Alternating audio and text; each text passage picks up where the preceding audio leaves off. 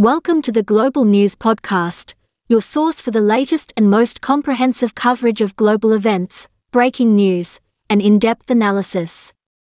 We are here to guide you through the top stories from around the world.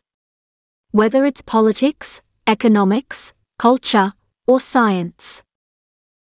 You're listening to the Global News Podcast from the BBC World Service. Hello, I'm Oliver Conway. This edition is published in the early hours of Tuesday, the 19th of March. The US and Israeli leaders speak for the first time in more than a month amid concern over Israel's planned assault on Rafah. Israel has not presented us or the world with a plan for how or where they would safely move those civilians, let alone feed and house them and ensure access to basic things like sanitation. We also hear about fears of famine in Gaza. Donald Trump's lawyers say he can't raise the almost half a billion dollars he needs to appeal against a fraud judgment. And Pakistan confirms it's carried out airstrikes inside Taliban controlled Afghanistan. Also in the podcast, the Gambia votes to bring back female genital mutilation. This practice has done nothing to any woman's body. And this is something that has been performed since pre-colonial era up to date. And people are wholeheartedly willing that this practice should be done. And the cash points in Ethiopia giving out too much money.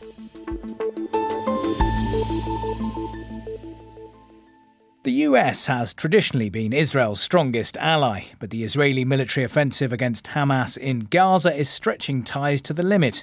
On Monday, for the first time in more than a month, the US President Joe Biden spoke to the Israeli Prime Minister Benjamin Netanyahu by phone. The US National Security Advisor Jake Sullivan said they had discussed the planned Israeli offensive on the southern Gazan city of Rafah. More than a million people have taken refuge in Rafah. They went from Gaza City to Khan Yunis and then to Rafah. And they have nowhere else to go. Gaza's other major cities have largely been destroyed.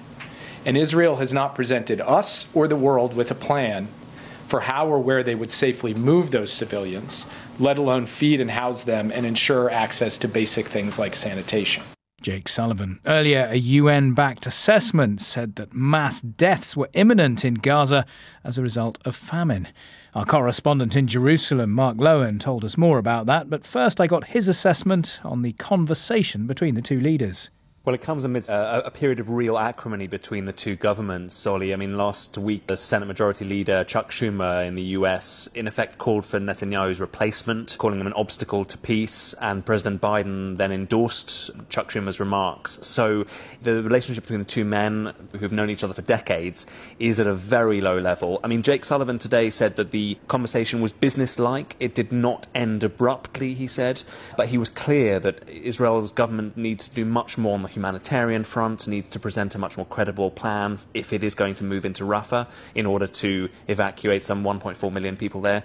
And interestingly, he also said that Israel has said it would send an interagency team, as he put it, to the US to discuss the Rafah operation. So that suggests that the Israeli government is very determined to push into Rafah against all the international warnings of what that would mean, but also that it recognizes that there needs to be more preparation before that happens. And Jake Sullivan also said that those suggestions that Gaza could soon be hit by a famine were alarming. Um, what more can you tell us about the details of that? Yeah, this was a report that um, was backed by several UN bodies and aid agencies, which said that unless the humanitarian situation is turned around, unless the fighting is halted, northern Gaza, there would be officially a declaration of famine by the end of May. A fifth of the population faces really catastrophic uh, food insecurity, that uh, one in three children are severely, acutely malnourished. So that gives you a sense of just how disastrous the situation is in the north. And the report also said that 1.1 million people are now facing catastrophic food insecurity, and that is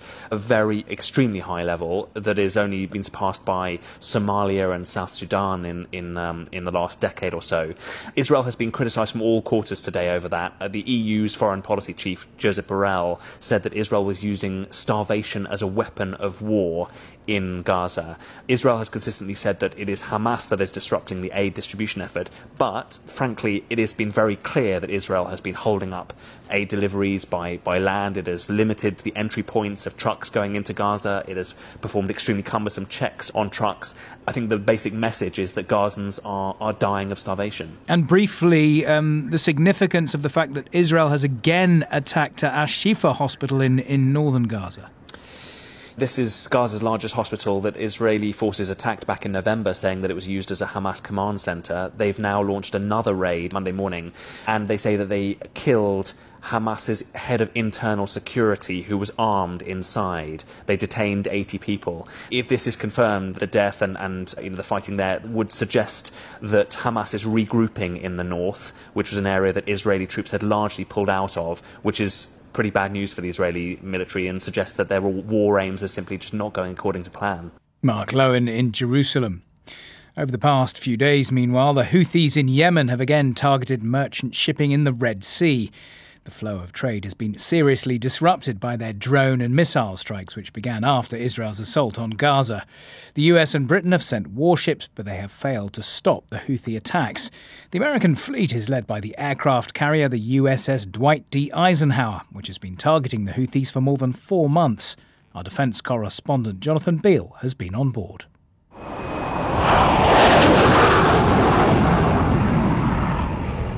The USS Dwight D. Eisenhower has been launching dozens of sorties with its F 18s day and night for more than four months now.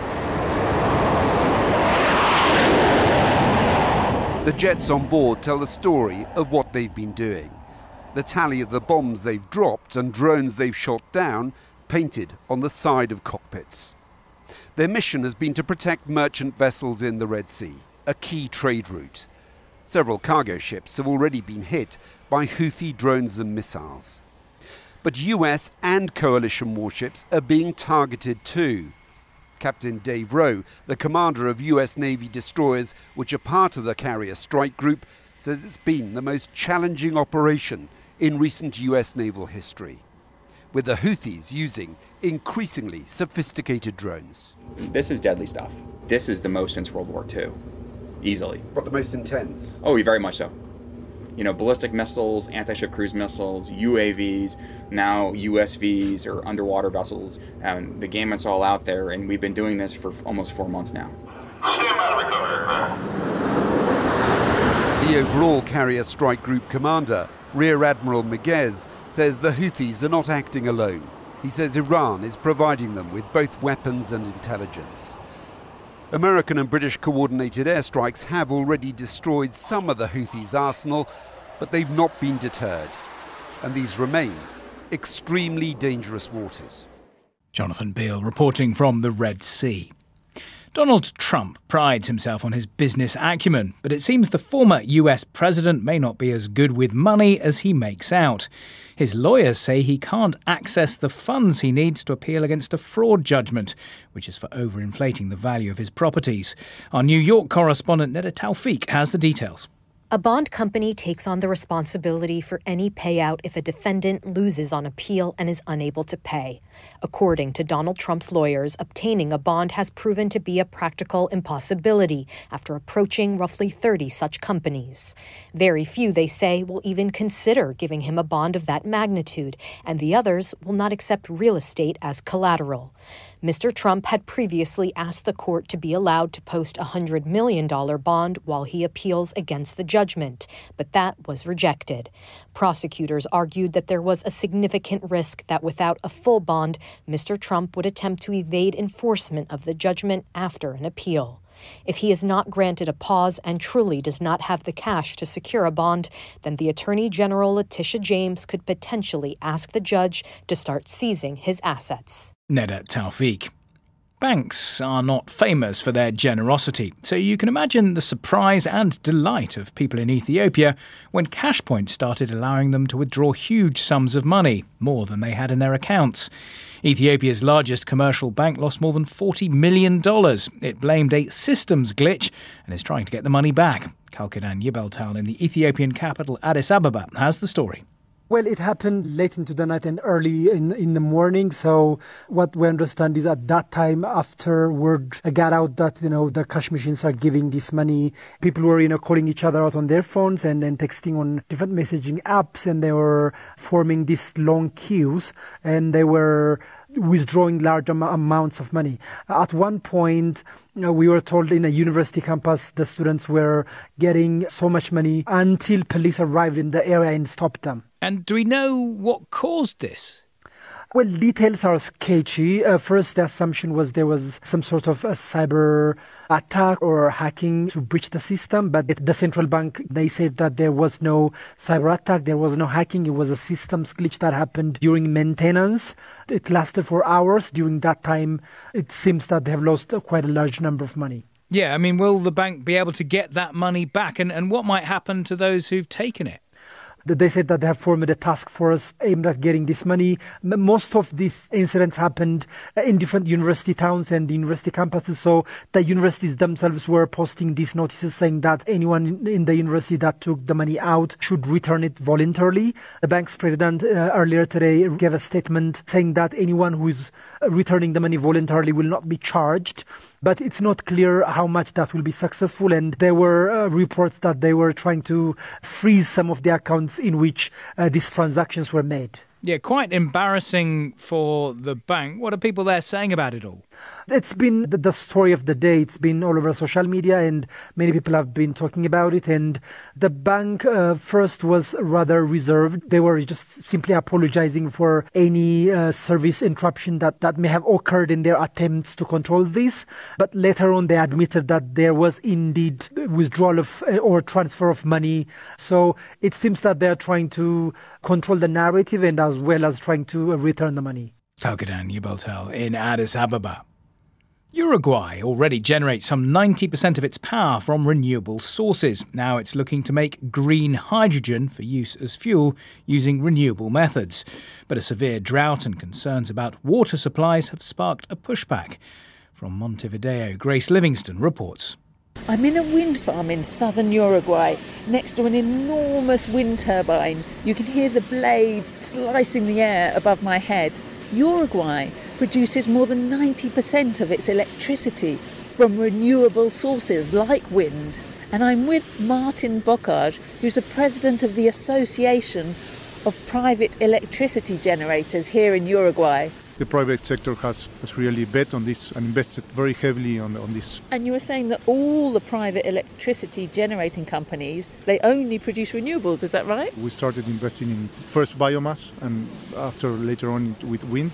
Between 2017 and 2020, the proportion of electricity generated from renewable sources reached 97%, one of the highest rates in the world. Recently, that figure's dropped slightly because of a severe drought, but Uruguay still generates far more of its electricity from renewables. That puts the country in a good position to start producing green hydrogen, the government says. As Uruguay's Industry and Energy Minister, Omar Paganini launched the country's ambitious green hydrogen plans. He's now Foreign Minister. Uruguay has a specific niche because of all this biomass that is waste from agricultural and forestry that combined with hydrogen can be used to make green fuels such as green methanol, green gasoline or, or diesel or SAF, sustainable aviation fuel. Latin America has the largest reserves of fresh water per capita in the world, according to the United Nations. So many governments think it makes sense to start exporting hydrogen and fuels derived from water. But some people, like Ana Maria Barbosa, are worried about the impact on Uruguay's water reserves. She lives in Tambores, a small rural town in northern Uruguay, where the German company Enertrag plans to build a green hydrogen hub, which will include wind and solar farms and a plant producing green hydrogen and methanol. The water here is very pure. It's from a subterranean aquifer. It's a precious local resource. Concerns about water are particularly acute because Uruguay suffered a drought so severe last year that the capital city ran short of fresh drinking water. Mauricio Caro has a small farm about 40 kilometres from Tambores. He says his crops suffered from the lack of rain last year. He worries that if water is taken from the local aquifer to make green fuels, farmers will run short. We have a well where we get water for our own consumption and for the farm, but during the drought, the water level fell a lot. We wonder how this will affect us in the future if this company intends to extract water. It's not just us it will affect, but the whole aquifer and the whole region. I put some of these concerns to Enertrag's Griselda Castanino. Uruguay is located on the River Plate basin. It is 3 million square kilometers. In Uruguay, we have a great availability of water across the whole national territory. The scale of this project is very small compared with the amounts of water used by industry or irrigation nationally. Really, this idea that it could cause water shortages, the answer is categorically no. Griselda Castanino ending that report from Grace Livingstone in Uruguay. Still to come on the Global News podcast. It goes through a part where it'll lie on its back and start licking its paw inviting you to tickle its tummy. Could robotic pets help reduce loneliness?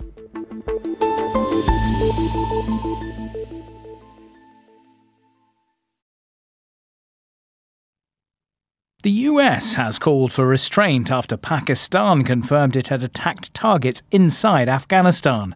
The Afghan Taliban said Pakistani aircraft had, quote, bombed civilian homes, killing eight people. The Pakistani Foreign Ministry said the airstrikes were aimed at militants who'd launched multiple cross border raids. The incident comes just a few months after Pakistan exchanged missile fire with another of its neighbours, Iran, though the two have now restored diplomatic relations. For the details on what happened on the Pakistan Afghan frontier, I spoke to our correspondent, Caroline Davis. We first got an indication that something had happened when the Pakistani Taliban said that there had been this incident overnight. We then heard from the spokesperson for the Taliban government in Afghanistan, who said, yes, that there had been bombing that started around 3 a.m. in two different provinces inside Afghanistan. They said that eight people had been killed, according to them, five women and three children. And in the statement, the spokesperson described this as being a reckless action of violation of Afghanistan's territory. We have now heard from the foreign ministry here in Pakistan. They say this was an intelligence based anti terrorist operation.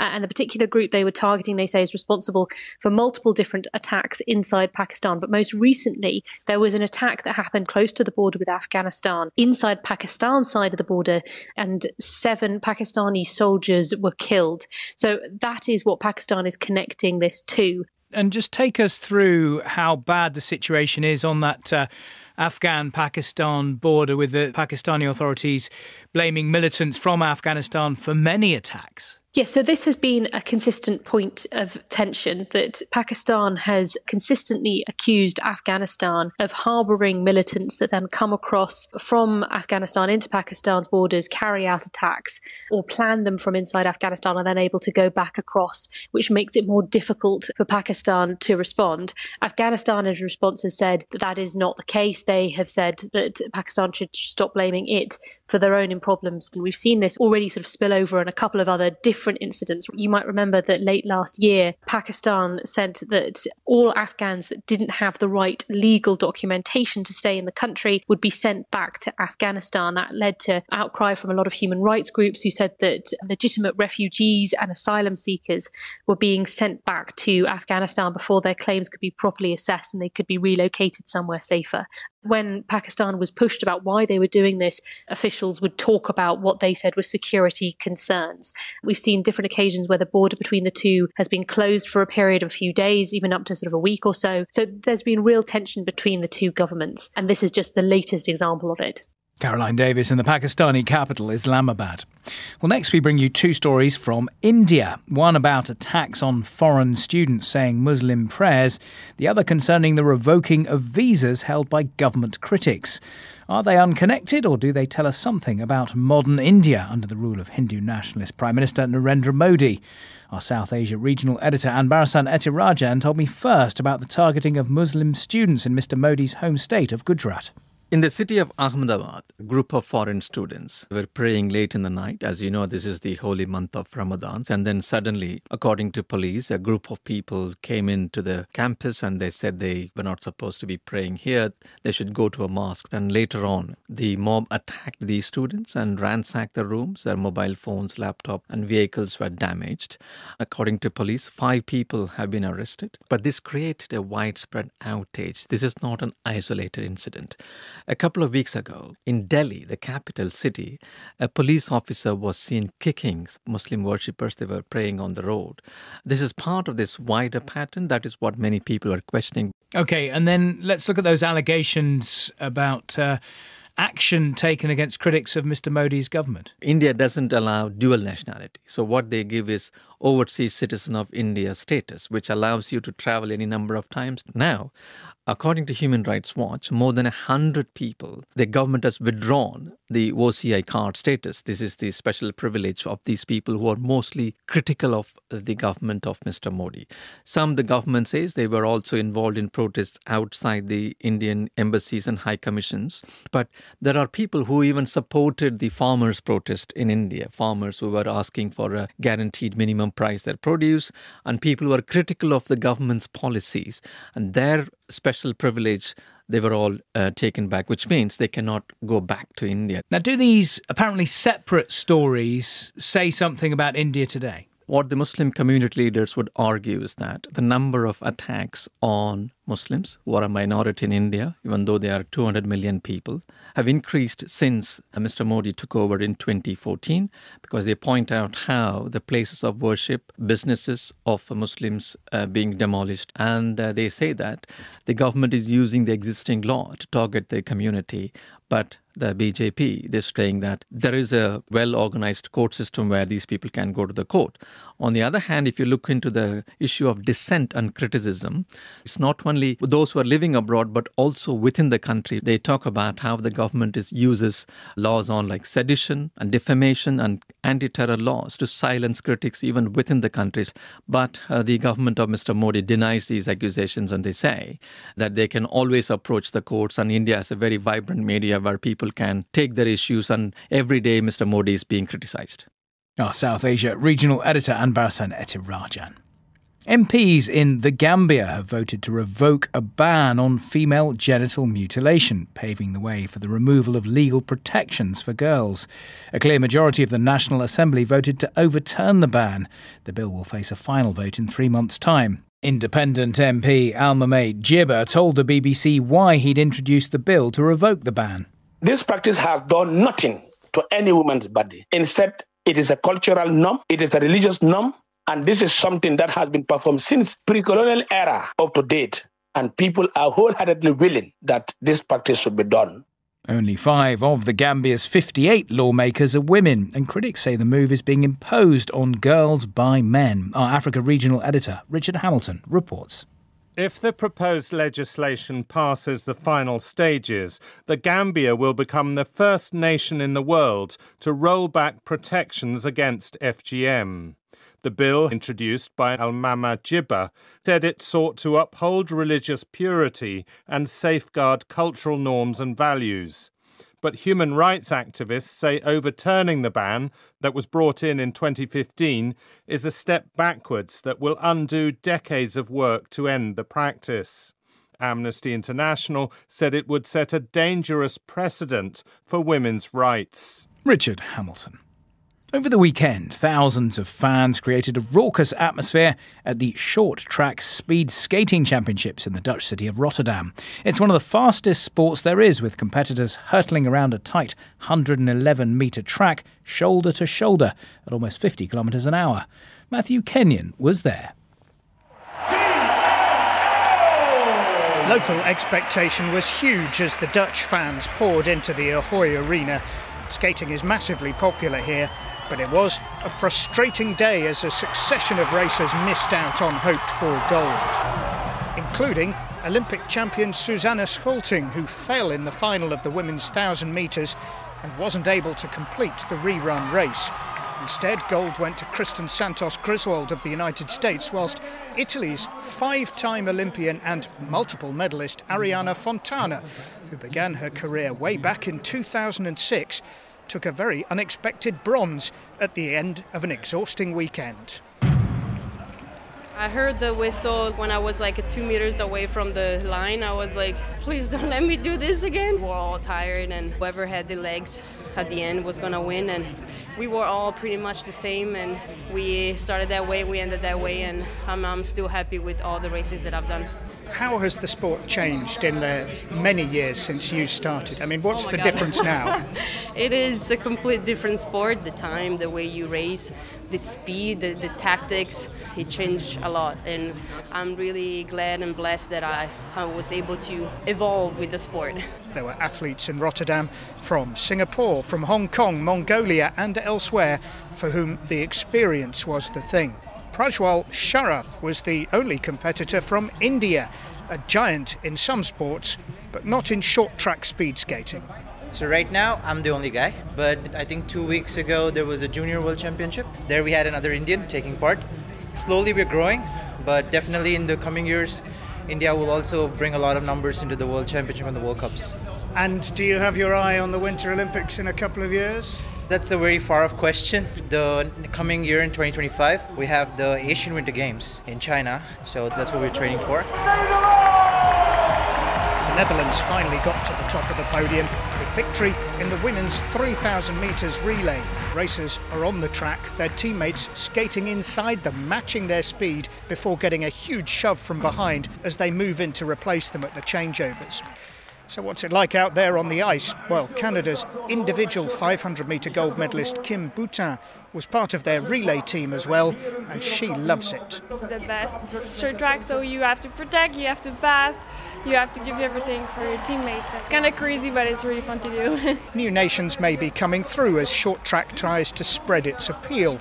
But the winners' roster had in the end a familiar look to it, with China taking three of the four available golds, rounding off an outstanding weekend for them with victory in the men's relay, the last race of three days of enthralling action on the ice in Rotterdam. A report by Matthew Kenyon. Finally. Well, if you thought that was a cat, you'd be virtually right. It is a robo-cat, and it's hoped it could help people feel less lonely. The UK is backing a trial to see whether robotic pets can improve the well-being of elderly people. The BBC's Evan Davis spoke to Lydia Enderby, who's been using robo-pets in a care home since 2018. This is on a cycle at the moment, but what it will do is respond to touch. So as soon as you touch it, it will start Oh. purring. It goes through a part where it will lie on its back and start licking its paw, inviting you to tickle its tummy. You stroked it, and that that it made purred, it yeah. purred. Yeah. You stroke it and it, it, it responds to your touch. it's quite sweet. Is the idea to make people feel a little bit less lonely, or is it Definitely. able? It is pure company. Does it work actually? What It actually does, yeah. We use it mainly on our dementia units, and what it can do is distract from distress behaviours, which you get quite a lot with dementia residents. And it's also a very good reminiscing tool for those people that have had pets in the past. Opens conversation, and like with you, it makes people smile. Yeah. You have a lot of people that you find moving into a care home that would have to get rid of their pet because the landlord in the care home wouldn't allow that. So we do promote pets as therapy, bringing in as many animals as we possibly mm. can. But where that can't happen, this is where this brings in the massive benefits. It's there you go. lying on its back. That's it just moved tummy. over. It's asking to be tickled on its tummy. Is anybody fooled by it? Yes, some people are. Some people I say, mean- well, that's not real, but they still have fun interacting with it. Other people will just interact with it as a normal cat. What's in the range? Got three ginger and three grey cats. We have two birds and we have two dogs. It's very nice to have sitting on a shelf and have bird song in your